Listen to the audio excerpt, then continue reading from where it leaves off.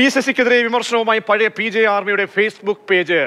ശശി വർഗവഞ്ചകനാണ് പി ശശിയെ പാർട്ടിയിൽ വെച്ച് പൊറിപ്പിക്കരുത്. പി വി അൻവറിന്റെത് വിപ്ലവ മാതൃകയെന്നും റെഡ് ആർമി എന്ന് പേര് മാറ്റിയ പഴയ പി ജെ ആർമി ഫേസ്ബുക്കിൽ കുറിച്ചു.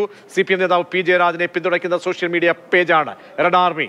ഫെലിക്സ് നൽകും വിവരങ്ങൾ. ഫെലിക്സ് പി ശശിയുടെ പേരിൽ സർക്കാരും പാർട്ടിയും ഒക്കെ ഇങ്ങനെ ഉലഞ്ഞു നിൽക്കുന്ന ഘട്ടത്തിൽ പഴയ പി ജെ ആർമി വീണ്ടും തലപൊക്കുകയാണോ? പി ജെ രാജന് വേണ്ടി നേരത്തെ വാദഗതികൾ ഉയർത്തിക്കൊണ്ട് ഒരുപാട് ഒരുപാട് വിവാദങ്ങൾ സൃഷ്ടിച്ച പേജാണ്. ഇപ്പോൾ ആ പേജിൽ എന്താണ് പ്രത്യക്ഷപ്പെടുന്നത്?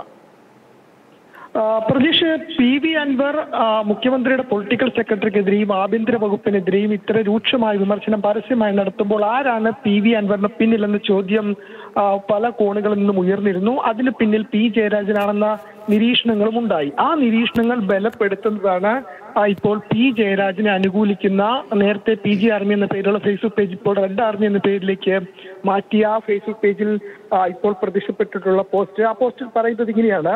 ഈ പി ശശിക്കെതിരെ പി ബി അൻവർ ഉന്നയിച്ച ആരോപണങ്ങളിൽ മുഖ്യമന്ത്രിയും പാർട്ടിയും ഏറ്റവും ആർജവുമുള്ള തീരുമാനം കൈക്കൊള്ളണം എന്നതാണ്. ഇത്രയും കാലം പൊളിറ്റിക്കൽ സെക്രട്ടറിയുടെ കുപ്പായത്തിന്റെ ബലത്തിൽ മുഖ്യമന്ത്രിയുടെ അരികു പറ്റി നടന്ന് പാർട്ടിയുടെ അടിവേര് പിഴുതെറിയാൻ ഇറങ്ങി തിരിച്ച് എ ഡി ജി പി അടക്കമുള്ളവർക്ക് എല്ലാ സ്വാതന്ത്ര്യവും അനുവദിച്ചു നൽകിയത് ആ പി ശശിയാണ്. ഒപ്പം തന്നെ ഗുരുതരമായ ചില കാര്യങ്ങളും പറയുന്നുണ്ട്. സ്വർണക്കടത്തും കൊലപാതകവും അടക്കം എ ഡി ജി പിയുടെ നേതൃത്വത്തിൽ ചെയ്തു കൂട്ടിയ ക്രിമിനൽ ചെയ്തികൾക്ക് മൗനാനുവാദം നൽകിയതും പി ശശിയാണ്.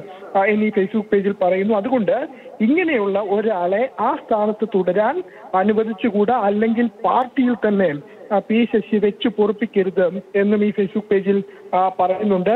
അത്തരം ചില വിമർശനങ്ങൾ അതിരൂക്ഷമായ വിമർശനങ്ങളാണ് ഇപ്പോൾ പി ശശിക്കെതിരെ ഈ പി ജി ആർമി എന്ന നേരത്തെ പേജിൽ അത് റെഡ് ആർമി എന്ന് മാറ്റിയ ഫേസ്ബുക്ക് പേജിൽ ഇപ്പോൾ ഉണ്ടായിട്ടുള്ളത്. നമുക്കറിയാം പി ശശിയെ കണ്ണൂർ ജില്ലാ സെക്രട്ടറി സ്ഥാനത്ത്. മാറ്റിയ ശരി ശരി. ഫിലിക്സ് ആണ് വിവരങ്ങൾ നൽകിയത്.